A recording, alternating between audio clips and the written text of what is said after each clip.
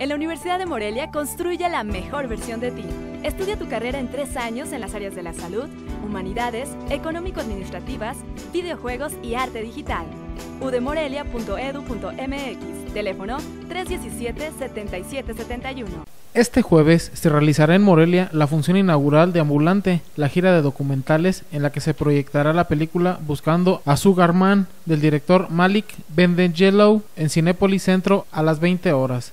El acceso será gratuito para el público que ha dado gran respuesta desde hace ocho años. Sí, es, es muy buen público el de Morelia, muy crítico también. Eh, siempre ocupa pues entre el tercero y quinto lugar de, del, de, en términos de asistencia de, de, la gira, así que pues tengo muy, muy buenas expectativas.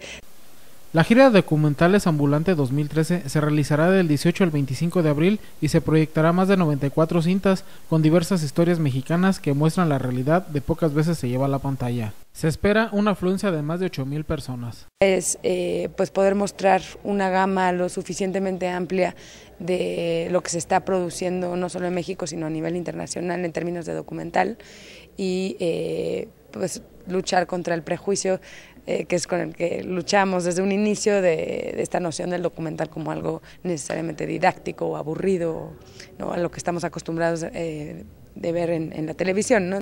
La convocatoria para inscribir algún documental cierra el próximo 29 de abril. Ambulante cuenta con un foro de 800 mil pesos para apoyar con becas la producción de hasta cinco proyectos. Ya tener un primer corte del documental, un mínimo de 60 minutos, y cada año nosotros convocamos un jurado externo que revisa todos los documentales y, y hace una selección entre dos y cinco proyectos. ¿no?